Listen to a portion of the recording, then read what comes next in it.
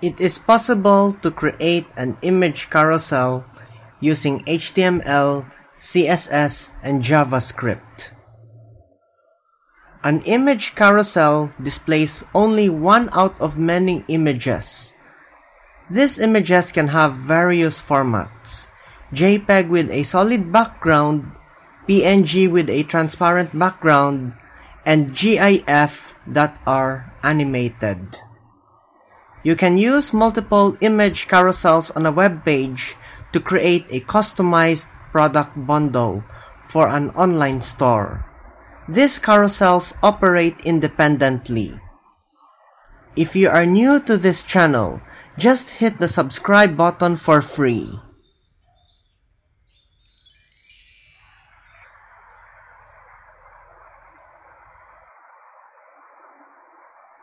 First, we will program the web page using JavaScript and Bootstrap. Those that are highlighted in yellow are the codes that we are emphasizing. We will now set the background color for the web page body. Our choice for this web page is violet. We have already discussed about hex colors on a previous video. We will fill up the web page with a title and a corresponding description in the form of paragraphs. We will set the title and paragraph dimensions. Those that are highlighted with a violet color are the codes that we are emphasizing for this particular function. The title is centered while the paragraphs are justified. We have already chose a background color that is violet. So the text color for the title is bright green and the paragraph color is orange. We will draw a 2 by 1 table on the web page. 2 by 1 refers to two columns and one row. We have already discussed how to draw a table in a previous video. Afterwards, we will set the table dimensions. It should be centralized and then we specify a certain column width for these columns individually. We use nth child followed by a number, specifically what column, and assign a percentage of the width. So these columns aren't uniformly wide. They're differed. Afterwards, we will insert an image on the left column of a table to represent the outerwear, which is a black robe, like a college graduate. On the right side of the right column, we will draw a carousel of images. In fact, we will divide this into a top and a bottom section for the inner clothes to be worn underneath the black robe.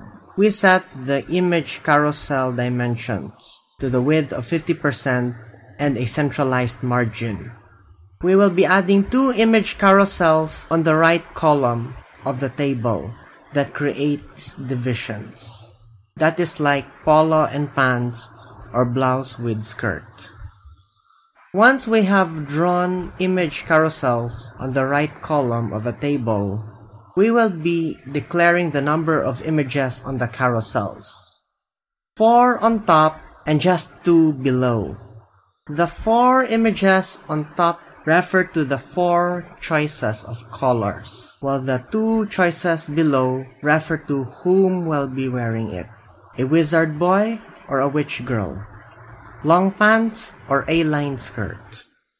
We will now be inserting the images on two different carousels.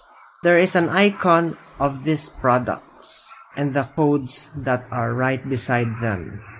As you can see here, we are using GIF images that are animated. In one instance, it's just polo and necktie. On another setting of the animated image, it has been worn with a v-neck t-shirt. This is how Hogwarts students are dressed up, wearing layered clothes, since UK is a cold country we will now be assigning the default images in the carousels.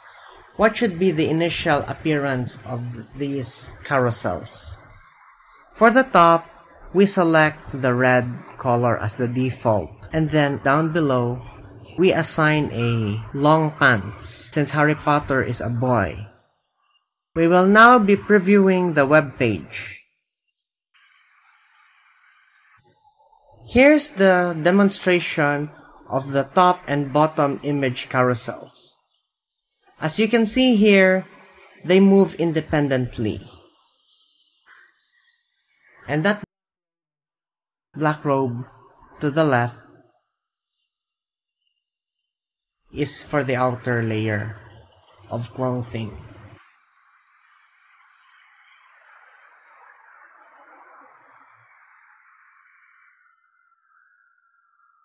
At some point, we have changed the bottom carousel manually by pressing the left or right button.